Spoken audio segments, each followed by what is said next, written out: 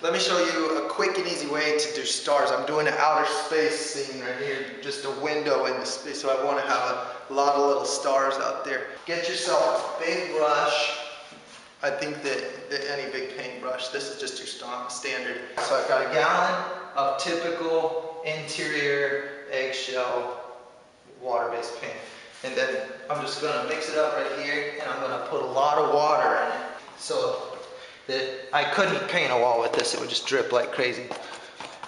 Okay, and then this is the technique.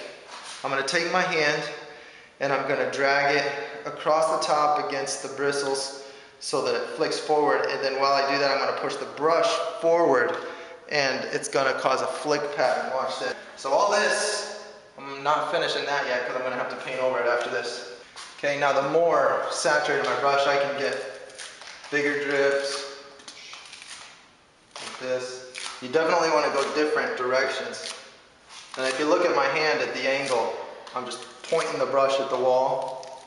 Boom, it's kind of like flicking your toothbrush at your brother. It's not like a real stiff bristled brush, so it doesn't hit the wall real hard, so you get nice round little splatters as opposed to like blasting outward when you hit the wall.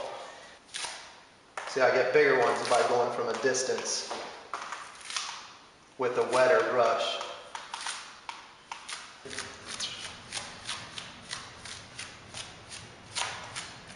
Notice how my brush is pointed at this angle like this and I just drag back. You can see why I need to keep my distance from the wall because if you get too close it definitely makes goes in too much of a pattern.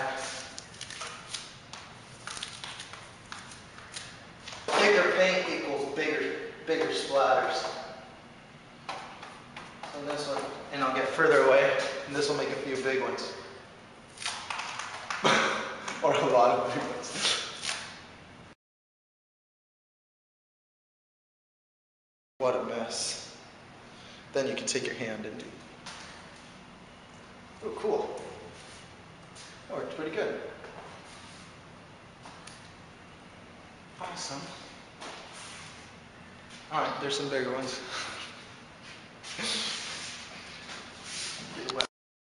now I'll show you how to do a more close-up star with the little twinklies coming off of it like this one.